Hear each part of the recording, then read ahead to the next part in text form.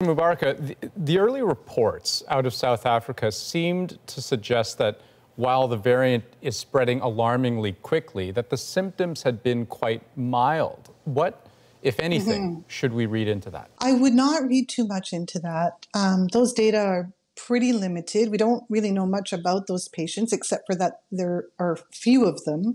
Um, so it will take time. It will take time to really understand the severity of of disease that's associated with this particular variant, like we've seen um, that pattern emerge in the past. Um, and I think that's why it's important that we move very quickly to identify cases so that we can follow them and understand what the implications of this variant is you know, not just at the patient level, but at the viral level and the population level as well. And do we know if this variant is more or less infectious than others circulating right now, uh, Delta, for example? That's going to be a key question. So, again, um, something that we're watching incredibly closely. It's certainly possible that it's more transmissible. Um, and what we need to understand is whether that is the case, number one, and if so, to what degree and how that might vary based on the population and, and rates of vaccination, for example. So, how do I gauge risk here? I mean, you know, from the perspective of someone who has been vaccinated, what, if anything, should I be doing to adjust in my daily life for the fact that Omicron exists, not just in the world, but here in Canada? So, vaccination is a really important layer of protection. Um, and it's something that obviously without it, we would be much more susceptible to any of the SARS coronaviruses. Um, but having said that, we can't really let our guard down being fully vaccinated.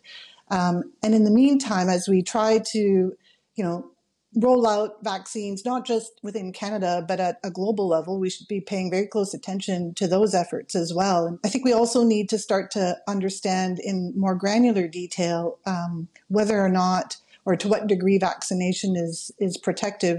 Well, let me ask you this. I mean, when it comes to boosters or third doses, for those folks here in Canada who are eligible for them, but who have yet to get them, does this change the calculation in terms of how urgently they should be seeking those additional shots out? Yeah, so again, we're still missing a lot of data. I don't think we can make policy recommendations based on what we know at this time on Omicron, right?